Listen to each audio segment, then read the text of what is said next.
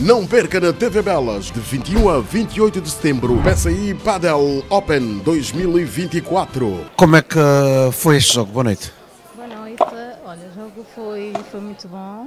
Uh, tivemos aí pontos muito, muito bonitos e foi um jogo, pronto, nós achávamos que se calhar víamos mais confiante, mas não, não foi nada disso.